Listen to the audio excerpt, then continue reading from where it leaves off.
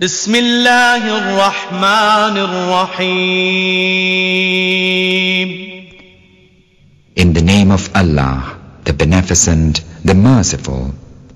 إذا جاء نصر الله والفتح ورأيت الناس يدخلون في دين الله أفواجا فسبح بحمد ربك واستغفره إنه